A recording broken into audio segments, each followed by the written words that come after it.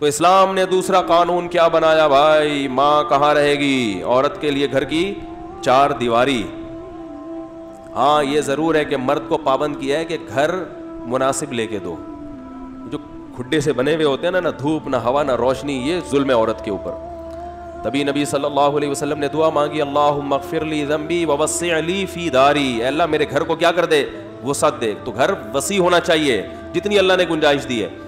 बाज़ दफ़ा मैं लोगों के घरों में जाता हूँ मैं हैरान होता हूँ, भाई, कैसे रह रहे हो यार? ना धूप, ना रोशनी, ना हवा, कोई इंतज़ाम ही नहीं है। हमारे यहाँ इसको तो बहुत फोकस किया जाता है। घर में कंस्ट्रक्शन का काम बहुत ज़्यादा हो, इतने कमरे और डबल मंजिला और ये और वो, ये टोबी ड्रामे फजूल किस्म के बेकार।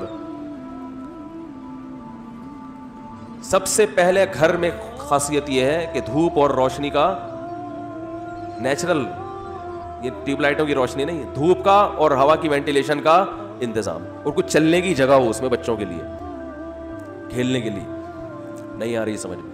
बेशक गरीब आबाद में चले जाओ, शहर की आबादी से थोड़ा दूर चले जाओ, लेकिन रहने की जगह क्या होनी चाहिए? कुशादा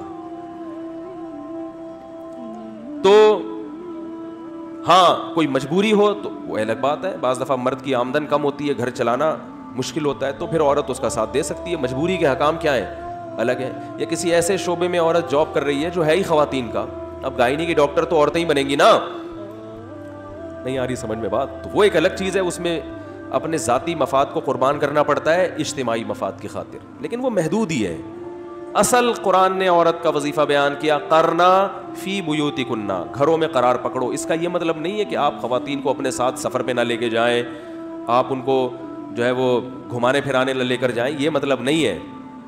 मतलब ये है कि जॉब आपने करनी है और खाना किसकी ज़िम्मेदारी है घर में रह के? औरत की। बाकी सफ़र में तो मैं लोगों को कहता हूँ, साहबा भी ले जाया करते थे। वह साहिबत ही व बनी कुरान में है ना? कि जो हर वक्त तुम्हारे साथ रहती है, क़्यामत के दिन उससे भी दूर भागोगे।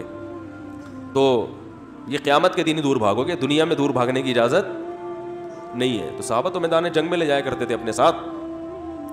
तो जो जायज़ तफरी हाथ है, जायज़, वो तमाम की तमाम अपने घर वालों को देनी चाहिए, जायज़ तफरी जितनी भी हैं। उसके लिए घर से निकलना पड़े, कोई हर्ज नहीं है। तो दूसरा हुक्म क्या हो गया? पहला हुक्म पहला हुक्म हो गया घर के अंदर रहे वो। ये इस्लाम बेहयाई और इस जैसे वाक़ात की रोकथाम के लिए अहकाम बयान कर रहा है। नंबर दो, खुशबू लगा के मर्दों के सामने ना गुजरे।